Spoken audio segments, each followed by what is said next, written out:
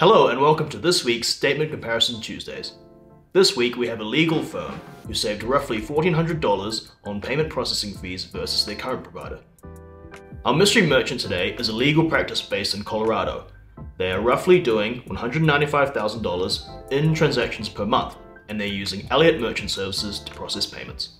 Let's see how much this merchant saved by using Helcim. To do that, we'll simply navigate to this page, select Online Calculator, next key in your country and your provider. Type in the current monthly total fees. Based on their statement, they paid around $3,088.85 to Eliot, which includes a monthly maintenance fee on top of their processing costs. Then we break down the share of in-person versus keyed and online transactions. Next, we identify the monthly total and dollar amount for each of the card types, as well as the number of transactions.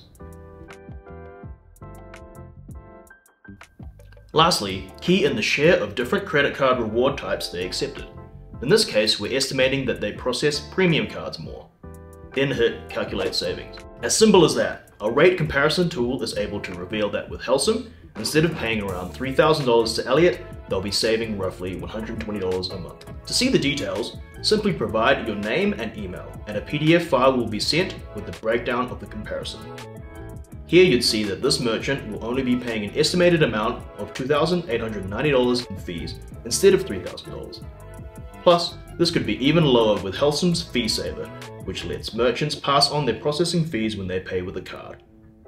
If you're curious about how much Helcim could save your business, check out our website.